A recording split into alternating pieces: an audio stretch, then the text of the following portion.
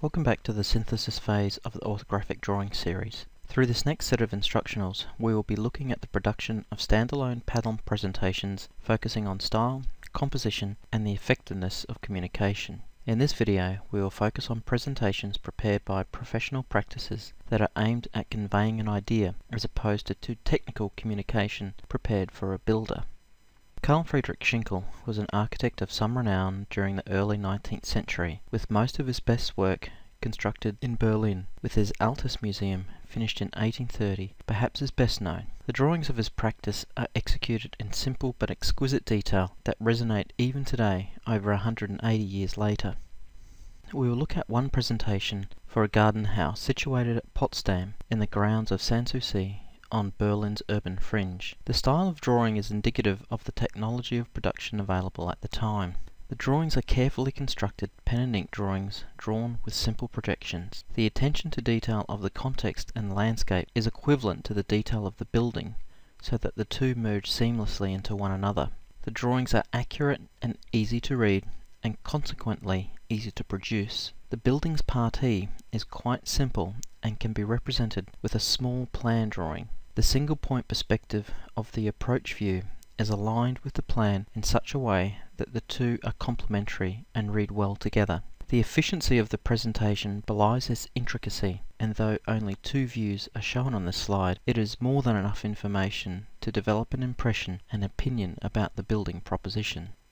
Here is the same building depicted from the side facing the large pond. The activity of the scene and important aspects such as the reflection in the water are all drawn with the same attention to detail. It is understandable that we could not achieve the quality of drafting shown here, but we can take away a sense of the simplicity and thoroughness of the presentation through a very select set of drawings, done well, and aligned on the sheet in an elegant and very simple manner.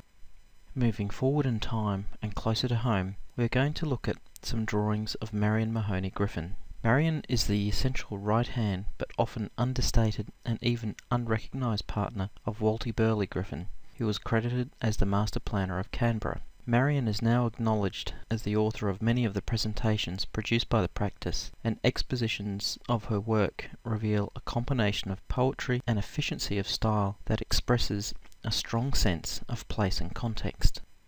Here is an early pen and ink with watercolour drawing done by Marion in the early years of their Australian practice. The rendering was done during a visit to Tasmania, and what is interesting about the work is firstly the obvious enthusiasm and passion for the Australian landscape, as well as, in my opinion, clear echoes of the stylistic approach of Japanese woodblock prints from a century earlier.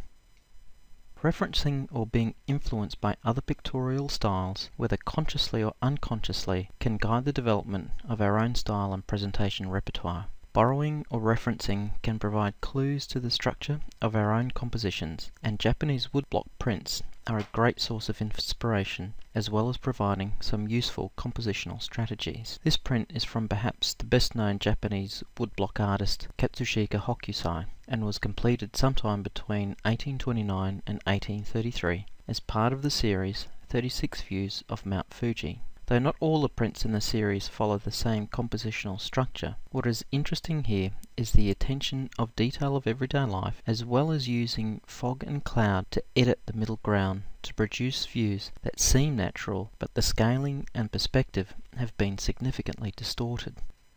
Here is another work from the same series by Hokusai and it also adopts the same compositional technique of using landscape and landscape effects to edit the middle ground and to blend in an elegant and seamless way the composition. The majesty of the overall view in combination with snapshots of everyday life brings the images to life. The unusual crop of the boat with the landscape foreground element only looks strange when we really begin to focus on it. The simple use of colour helps unify the composition without making the images too fussy as well as easy to read. Using the context and landscape to mediate the middle ground as demonstrated in these images gives us some hints how we may use similar techniques with Entourage to unify our sheets which may have a mix of views, some orthographic, some three-dimensional, and all at different scales. The next two images by woodblock artist Tsukioka Yoshitoshi deploy similar compositional techniques of the middle ground. However, the landscape has been significantly stylized. These prints were made very late in the period when the style of woodblock prints were popular, and recognizing the fact that the image is still over 120 years old, the style seems both effortless and very contemporary. The final woodblock print from Yoshitoshi strips the image back further and uses very simple edits of the foreground and background to balance the images and leave the middle ground virtually empty. Compare the sparseness of the previous image with a view of the Thomas P. Hardy house by Marion Mahony. The extreme perspective and the mere suggestion of the landscape creates a powerfully emotive image of the architectural project that engages the reader at an altogether different level than a presentation simply focused on the dissemination of information. Climbing down a little from the sparseness of the previous image, here is a presentation of a house that is part emotion and part information. The three-dimensional views of the key outside and inside views frame the presentation top and bottom. A simple plan of each level is in the middle of the sheet. The frame of the image blends with the landscape and entourage, and sometimes the landscape breaks and integrates the frame to help balance the overall composition and to avoid it looking too stiff. Here is another example using the same compositional strategy. However, the perspective in this case is a sectional perspective, so we can see part of the inside space in combination with an external view. This final presentation is more sparse, with the focus on an emotional response to the design proposition through the emphasis of the context and external appearance and its fit with the site. The plan arrangement is reduced to a postage stamp size in the composition. However, due to the simplicity of the plan, it is still legible even at this small scale. For many projects, the plan can be reduced significantly so that it is almost the same as a diagram. However, this works only if the emphasis is on another larger statement rather than a strategy for simply cramming more drawings onto a page.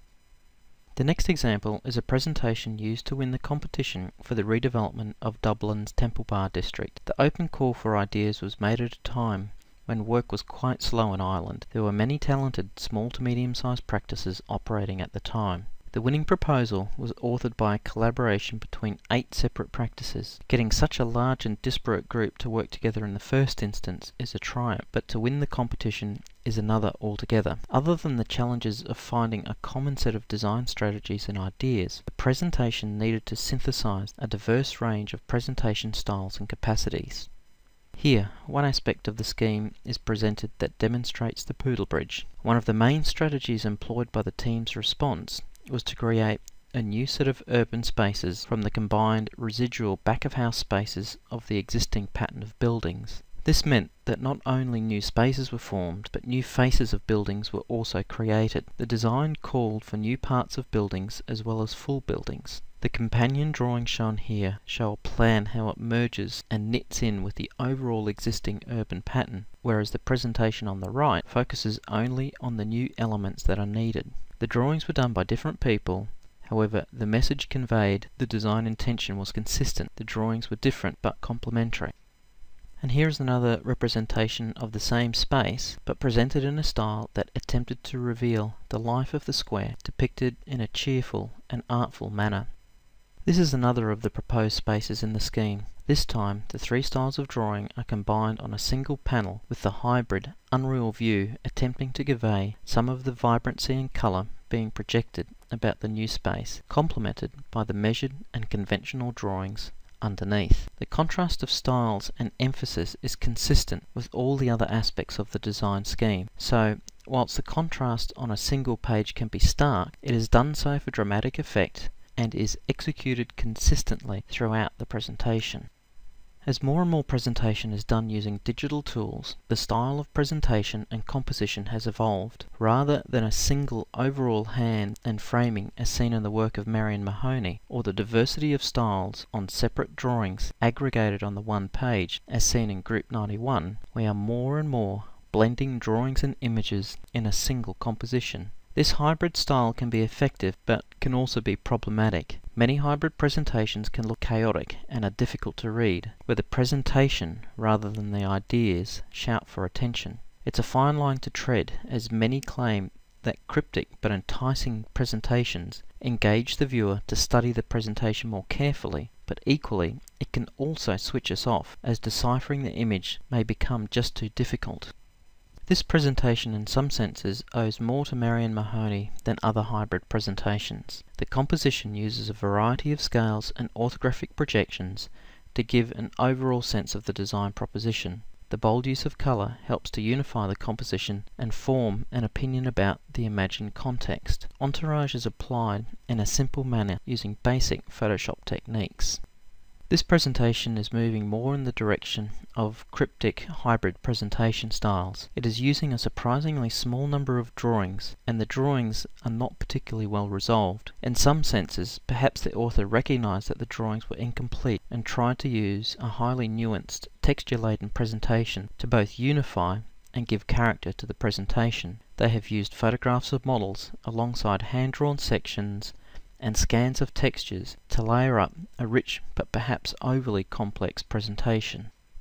This final example uses a similar technique but is done in a more refined and less dirty way though the composition is well balanced and seamlessly put together from a range of sources, including digital models and simple orthographic drawings, it still suffers from medium overwhelming the message. It is difficult to make informed judgments of the scheme when some basic information, such as scale and form and materials, are represented in such an ambiguous way. It comes across more like a pitch for a starting idea or an art installation rather than an architectural proposition. However, it is easy, with the digital tools at our disposal, to unconsciously drift into this style of presentation. We need to keep asking ourselves whether it is appropriate.